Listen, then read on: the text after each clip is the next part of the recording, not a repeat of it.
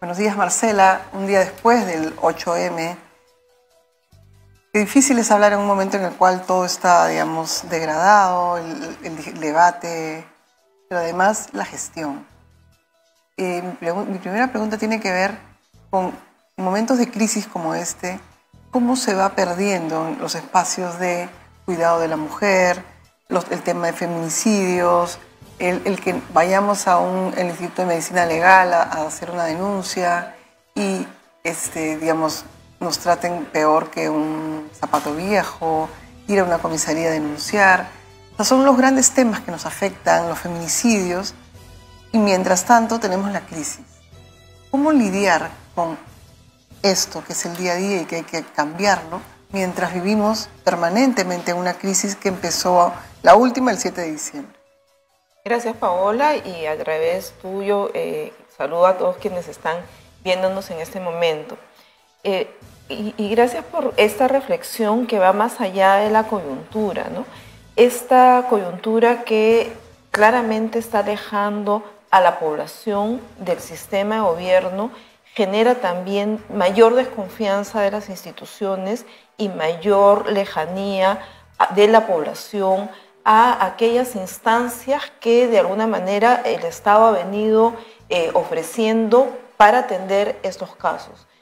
Ahí tenemos una preocupación, porque efectivamente desde hace muchos años el Estado ha venido eh, abriendo servicios para denuncias contra la violencia, eh, hemos trabajado mucho para que se vincule las desapariciones de mujeres con situaciones de violencia para prevenir feminicidios. Pero ¿qué pasa en un contexto como el actual, en donde la policía tiene que estar atendiendo otros asuntos y todos estos servicios que requieren de eh, policía involucrada en esta temática se comienzan a perder todo este capital humano y además, de manera terrible, vemos imágenes que nos retrotraen a otro tiempo de una actitud de la policía mucho más agresiva y que con esto la población entonces no se acerca a estas instancias. Y en, en la materia de violencia contra la mujer, las denuncias, la mayoritaria, llegan a las comisarías, no llegan a los centros de emergencia mujer. Tan es así que en un momento el sector tuvo la decisión de abrir centros de emergencia mujer en las propias comisarías para acercar un servicio más integrado a la población. En las circunstancias actuales, ¿quién quiere ir y estar en una comisaría?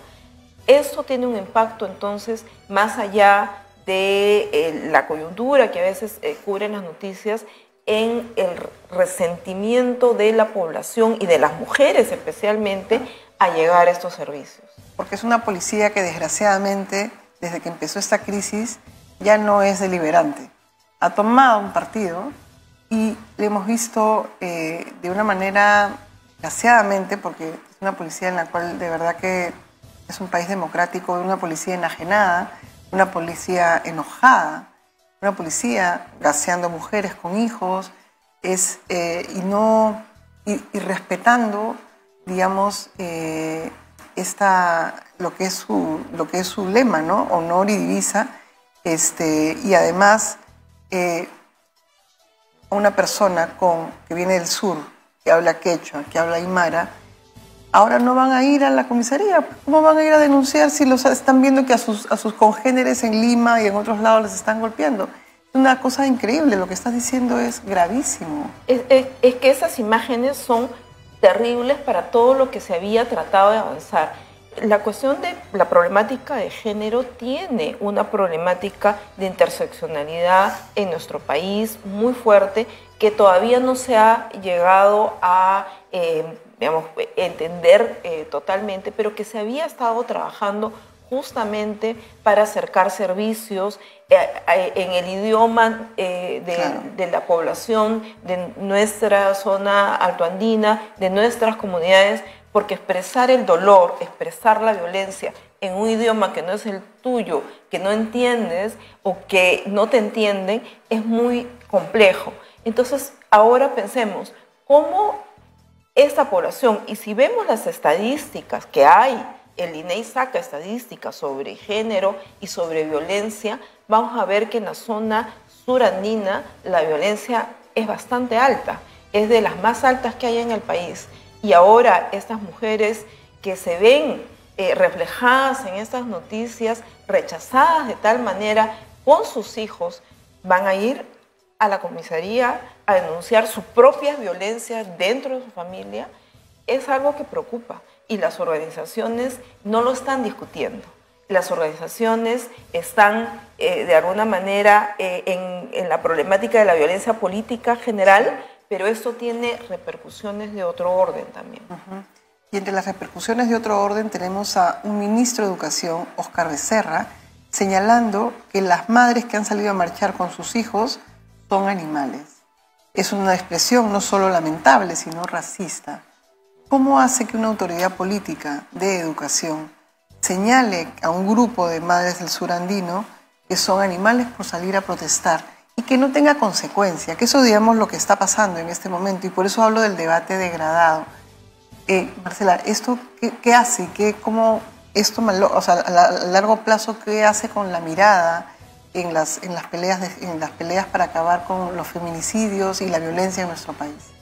Fíjate, los eh, mensajes sociales que están dando eh, en esta coyuntura son muy fuertes, porque si tú vives con tus hijos y los dejas para una protesta social, eres mala madre y no tienes arraigo. Y si vas con tus hijos, porque la mayor parte de, de mujeres tiene esta responsabilidad, eres mala madre porque los expones. Eres mala madre si participas en la vida política del país. Nosotros pensamos que ese, esa expresión del ministro es una expresión que no debería tolerarse y que en otras circunstancias esa persona ya no debería estar en el cargo. Sin embargo, lamentablemente no tiene consecuencias. Y ese mensaje de eh, que esto también es permitido es muy fuerte y creo que eh, el Ministerio de la Mujer debería haberse pronunciado eh, tomando distancia de estas palabras porque lamentablemente ofenden no solamente a las mujeres que han participado de manera directa, sino que nos ofenden a todas las mujeres en el país. Felizmente la Defensoría del Pueblo ha mantenido una voz en estas circunstancias, una voz fuerte, que yo creo que eh, de alguna manera va marcando ese tipo de rechazo que sentimos en la población. Pero a su vez muestra un país en el cual eh, la comunidad internacional ha alertado de algo muy grave, que ser mujer, ser del surandino, tener un idioma eh, de origen que no sea el español, te hace víctima de, eh, digamos, víctima de la violencia política y a su vez no te hace, digamos, ser parte, digamos, de la, del todo llamado Perú. Y eso es lo que está ahorita afectando lo que acabas de señalar y lo, con, el tema que empezamos, los otros servicios. Porque claro, este, en este momento nadie se puede ocupar de otra cosa que no sea la, la atención, digamos, de la crisis. Pero mientras está esa crisis, muchas mujeres están viviendo otras crisis. Unas crisis en sus casas domésticas, que sus hijas no puedan ir a estudiar porque son mujeres. Y esas crisis que yo siento que es lo más grave que, está pasando sobre, por debajo en una crisis como esta. ¿no? ¿Cómo hacer indicadores? Yo diría que en este momento en el cual no se pueden cambiar las cosas, eh, digamos, en términos de los políticos están ahí, no, no, quieren moverse, pero me refiero cómo las organizaciones deberían alertarse para hacer indicadores y contar este otro fenómeno. Marcela, ¿qué, pensarían y cómo empezar? Eh, a ver, mira, nosotros justamente eh, dentro de la universidad venimos trabajando un tema que, en relación con esto, que es dar cuenta que las estudiantes, los estudiantes tienen que mirar el país y estas diferentes realidades y escuchar a eh, las personas que vienen discutiendo estas problemáticas. ¿Por qué? Porque algunas veces cuando eh, los estudiantes, los estudiantes más jóvenes creen que ya tienen los derechos, ya están mirando, digamos, una, marcos diferentes, pero nuestro país es complejo y tiene una riqueza en la diversidad, pero también tiene eh, que discutirse este tipo de problemáticas que, a las cuales tenemos que atender y desde la universidad formamos profesionales que tienen que brindar canales de solución eh, a estas problemáticas. No, no formamos a profesionales para otra realidad tenemos que discutir esto desde la propia universidad y me parece que esto es sumamente importante porque ya no es ir a un libro para eh, revisar cuáles son las coyunturas y las problemáticas, sino que la situación eh, lamentablemente te arroja problemáticas sobre las cuales tienes que abordar en la universidad, porque por un lado tenemos los objetivos de desarrollo sostenible que nos van a, orientando hacia eh, estas competencias del futuro, pero por otro lado tenemos esta realidad nacional de la cual los alumnos también tienen que aprender. Claro, y esa vinculación tiene que ver con estar más alerta, mejorar la escucha, ¿no es cierto? La escucha activa y tratar de de que, digamos, eh, como decías tú, la palabra género o decir interseccionalidad, o sea, a lo que se refería Marcela, no es que, es que se refiere a todos los aspectos de una vida, que no es que uno se levante y dice el 8 de marzo estamos contigo, pero los otros 364 días la gente se olvida, ¿no es cierto? Porque vuelves a estar, vuelves a, hacer, a aplaudir el chiste machista, vuelves a burlarte, vuelves a repetir los estereotipos y desgraciadamente volvemos a la rutina, ¿no? Es como que pasas un día en el cual flotan y luego la gente vuelve a reanudar sus viejas prácticas. Y eso me parece muy bien, vincular con la realidad. ¿Cómo hacen para explicarles a los estudiantes que, eh, digamos, cuando las personas señalan o estigmatizan a la gente que está protestando en el sur andino, este, no se debe repetir? ¿Por qué no se debe repetir las prácticas que hubieron en la sociedad peruana del 80 al 2000, Marcela?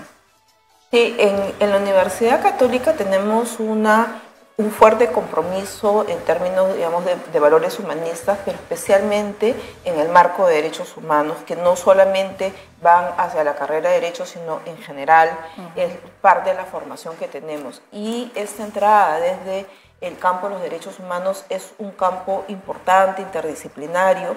Hace unos días eh, justamente se abrió un, seminario para discutir eh, la violencia política desde un enfoque de derechos. Y en ese enfoque de derechos eh, los temas de género están ahí, están presentes, discutimos con los estudiantes, estamos por iniciar un semestre, todavía no he iniciado, en el que este tema tiene que ser abordado en, desde las diferentes dimensiones, desde la dimensión de los contextos históricos, porque no podemos olvidar nuestra historia. Estamos a 20 años del informe de la Comisión de la Verdad.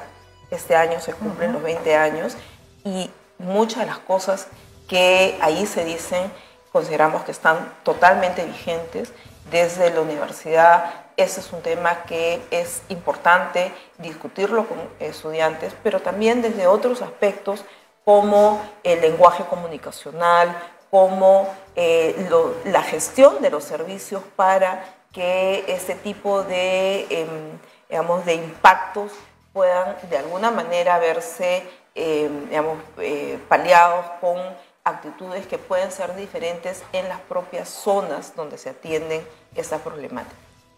La ex ministra Marcela White estuvo con nosotros. Muchísimas gracias por la entrevista y hasta la próxima.